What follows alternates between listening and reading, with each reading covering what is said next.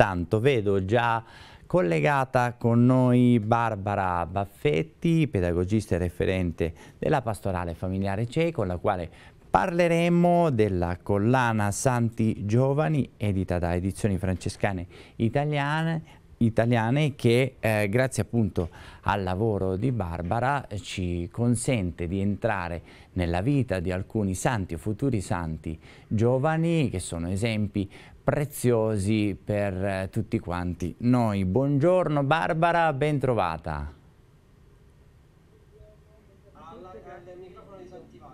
Eh, dalla regia mi dicono che hai il microfono disattivato per cui per fare arrivare la tua voce a, a, tutti i nostri cari amici telespettatori evidentemente devi sbloccare il microfono, vediamo se ci siamo. Buongiorno. Ecco, adesso ti sentiamo, prego la regia di alzare il uh, volume della nostra uh, prima ospite di oggi, così che posso sentirla bene. Buongiorno Barbara, ben trovata, dicevamo. Buongiorno, buongiorno e grazie dell'accoglienza, dell'invito. Grazie a te per uh, la disponibilità eh, del, del, tuo tempo che ci concedi in questo primo sabato d'agosto, mm, eh, mese particolarmente vocato no? al riposo del, delle ferie, no? però anche, lo abbiamo detto tante volte in questi giorni, mese è quello di agosto, ma stagione quella estiva, particolarmente anche ehm, vocata alle letture e noi siamo felici di poter parlare con te di questa collana eh, di Santi Giovani, per cui ti chiederei subito come nasce appunto la collana sulla santità. Allora, intanto nasce da un progetto eh, proprio per, eh, pensato per proporre la santità eh, di giovani vite eh, un patrimonio, una ricchezza che la nostra Chiesa ha e che eh, volevo far riscoprire nel mio intento agli adolescenti. Io da tanti anni eh, vado nelle scuole con un progetto sull'affettività eh, e quindi lavoro e mi metto in ascolto dei ragazzi, soprattutto degli adolescenti. Le domande di senso degli adolescenti, contrariamente a quello che è spesso ehm, il racconto che se ne fa tra gli adulti, sono domande di senso profondo e molto spesso eh, mi sono chiesta se la conoscenza di alcuni testimoni eh, di cui abbiamo appunto eh, questa ricchezza all'interno della Chiesa, queste giovani vite eh, sante, potesse essere d'aiuto alle vite di questi adolescenti, mh, dare risposte alle loro domande di senso. Così nasce il primo testo in realtà dedicato a Carlo Acutis e devo dire che ha trovato l'accoglienza giusta. Edizioni Francescane e tutta l'equipe che lavora intorno alla collana ehm, ha accolto il progetto e, e l'ha custodito, l'ha curato, direi, ehm, secondo anche quelli che erano i miei intenti. E eh, quindi l'idea è proprio questa, ehm, non raccontare biografie, non scrivere biografie su giovani vite di santi, ma piuttosto attraverso eh, romanzi di fantasia che hanno al centro protagonisti eh, degli adolescenti, eh, mettere in filigrana alcune di queste vite eh, sante perché possano essere di risposta alle domande che emergono nel romanzo. Grazie, grazie Barbara. Io sto leggendo eh, proprio il libro su, su Carlo ed è, è veramente una Bellissima intuizione quella di avvicinarci a queste figure straordinarie attraverso la quotidianità eh, dei, della vita dei protagonisti dei, eh, dei tuoi libri. E la trovo una scelta davvero eh, molto molto eh, intelligente e ehm, oggi del libro e della figura di Carlo Acutis abbiamo parlato solo qualche, qualche giorno fa ehm, con l'ausilio di eh, due eh, frati, Fra Gaballo e Fra Gatto e oggi ci concentriamo invece sulla figura di Chiara Corbella. Come mai ecco eh, nella, uh, nello scegliere queste figure poi ti sei concentrata anche su quella di Chiara Corbella? Allora, perché, eh, come dicevo, stando in ascolto degli adolescenti, dei giovani e delle giovani che incontro,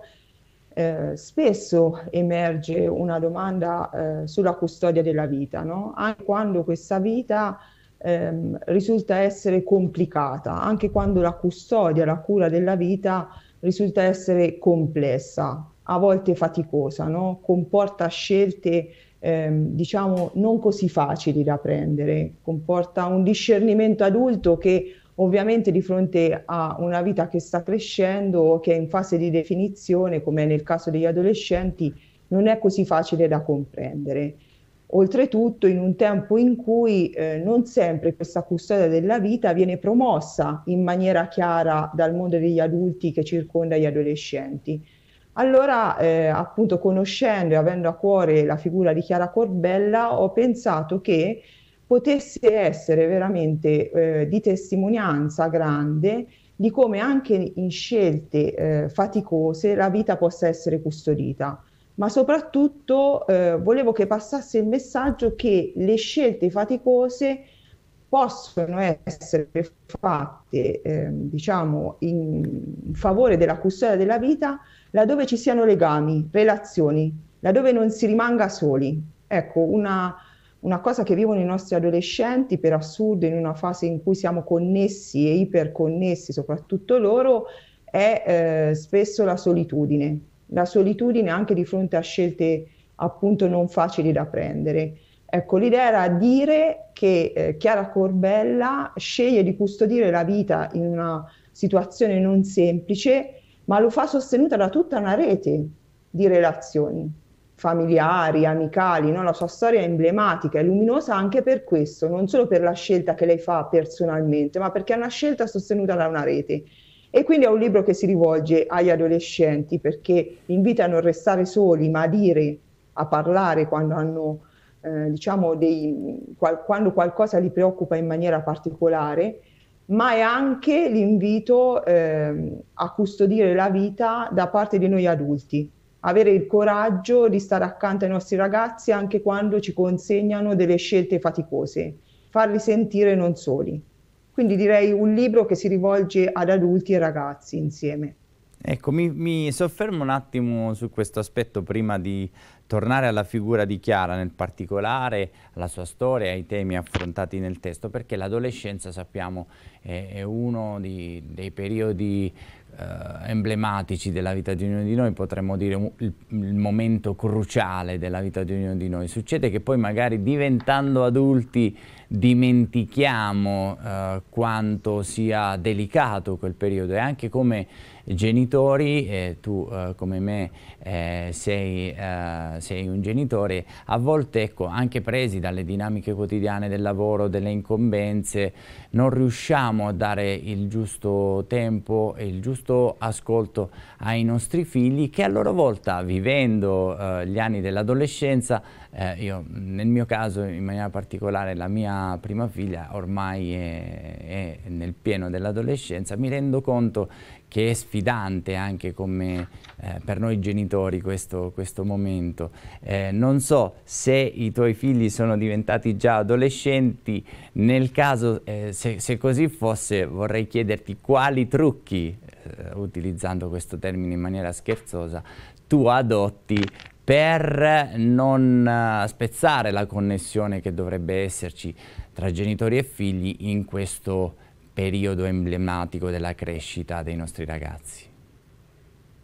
Sì, allora intanto eh, miei, io ho tre figli e i primi due ormai hanno superato l'adolescenza, l'ultimo è in fase, penso, finale. Beh, allora diciamo hai una come... grande esperienza. Eh, diciamo che come tutti i genitori, quando arriva l'adolescenza, un po', eh, no? come dicevi tu giustamente, eh, ci troviamo destabilizzati nonostante l'abbiamo percorsa anche noi quella strada.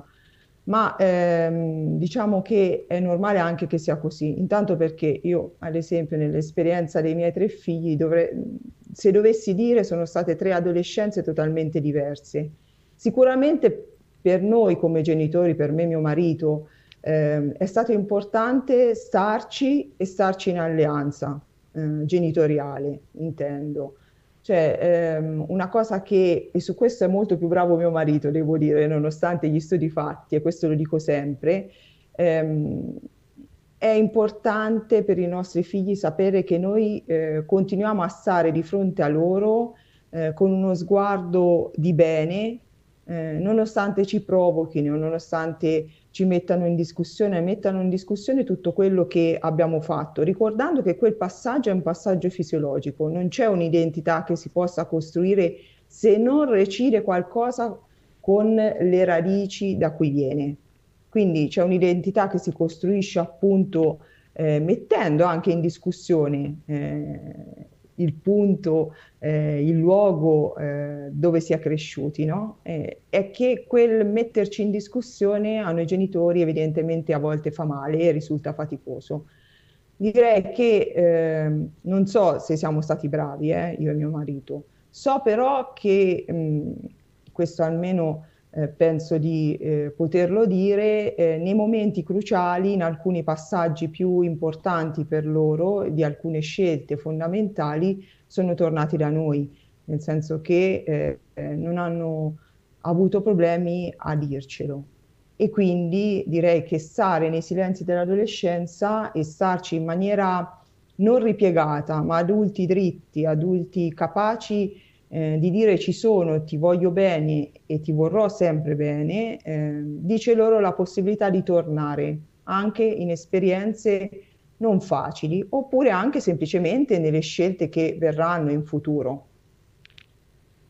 Condivido, sono, sono, assolutamente d'accordo con te Barbara e in conclusione di videocollegamento tornerei ai tuoi libri che sono una preziosa lettura non solo per i ragazzi ma appunto anche per noi adulti e ehm, visto che oggi ci siamo focalizzati sulla figura di Chiara Corbella. Poi ovviamente dovremmo fare un altro eh, collegamento per parlare dell'ultimo libro di cui non abbiamo parlato, Una luce di nome Chiara, ma oggi ci soffermiamo, eh, quindi su Chiara Luce, oggi ci soffermiamo però su Chiara Corbello eh, per eh, parlare dei temi che affronta questo testo, ecco, nella speranza di suscitare ulteriormente, ulteriore curiosità eh, nel nostro pubblico.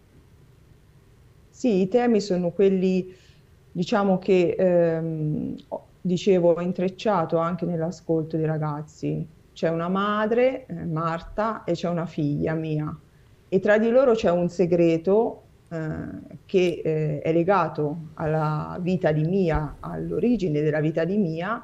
che è un segreto in realtà che ehm, è un segreto tenuto a fin di bene ehm, da parte di Marta eh, che è una mamma sola che ha fatto una scelta coraggiosa. E eh, quando il segreto emerge, emerge con forza, in maniera spiazzante, legato anche all'innamoramento, al primo innamoramento di Mia, alle preoccupazioni che tutti noi genitori abbiamo di fronte no? al primo amore dei nostri figli, a come parlarne dell'amore, a come gestire anche no? tutta la dimensione della sessualità, eh, Marta eh, diciamo, non riesce a stare come, come madre in maniera piena e il segreto emerge con forza, spiazzerà fortemente Mia e ehm, diciamo che l'equilibrio e l'armonia tra madre e figlia, dopo alcune vicende rocambolesche che non, ovviamente non dico anche per non togliere il piacere della lettura, ehm, re- verrà a ricomporsi proprio alla luce della scoperta della storia di Chiara Corbella, una scoperta fortuita che Mia fa e che però da fortuita diventa veramente una scoperta fe- preziosa, fortunata, no? direi. E, um, è un po' quell'idea della santità della porta accanto che dice Papa Francesco nella Gaudete et Exultate, cioè una, una santità eh, che possa intrecciare la vita e che venga da persone che sentiamo vicine, no? Quindi ehm, liberare un po' i ragazzi dall'idea che il santo è il santo dell'immaginetta, passa, passami il termine, che invece è quello che loro hanno come, come sentore. Ecco, nel caso di Chiara Corbella il testo affronta tutto questo, l'amore, come vivere l'amore, come custodire una vita e anche come una vita ha bisogno di relazioni per poter crescere in maniera, diciamo, feconda. Molto bene Barbara, allora in attesa di ritornare in un futuro collegamento a parlare anche di Chiara Luce Badano, oggi ci siamo soffermati sulla figura di Chiara Corbella, tra l'altro letture interessanti di questi libri che oltre che nell'impostazione narrativa eh, intelligente e particolare contengono anche poi delle pillole per approfondire, delle pillole per capire, l'invito a leggere eh, altre fonti, quindi grazie per essere stata con noi stamattina, eh, per aver condiviso questi tuoi lavori, dunque eh, ci lasciamo con un arrivederci per parlare del terzo libro della collana. Benissimo, grazie, grazie a voi per l'accoglienza e buona estate a tutti ovviamente. Grazie, grazie ancora a te Barbara, io voglio ringraziare anche Ida Casciani che ha favorito questi preziosi collegamenti, ora restituisco la linea alla regia, ci ritroviamo subito dopo la pubblicità e quindi restate con noi perché andremo a scoprire che cosa succede nell'orto del convento con il nostro padre guardiano Fra Rinaldo Totaro.